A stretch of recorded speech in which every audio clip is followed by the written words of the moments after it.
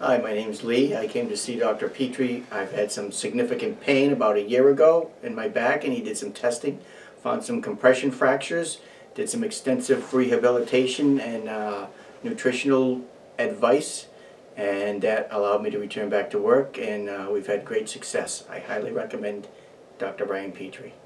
Okay, and the treatment that you had was uh, we also did chiropractic care with you, Lee. Okay. Yeah. Uh, would you say that the uh, treatments were um uncomfortable at all, even though you had those compression fractures? Uh, they were not uncomfortable. I believe you were being a little lenient in the beginning, and you progressed as my body healed. hmm Uh, in the beginning, I was in significant pain and discomfort, not from the treatments, but just from my state of being.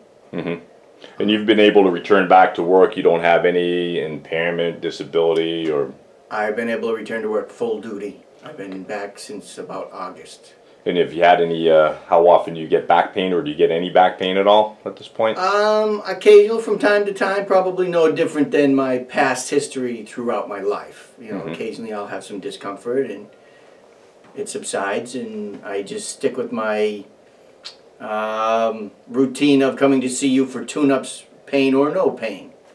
Um, typically, I try to come see you once a month, whether I'm in pain or not, and that keeps me in check.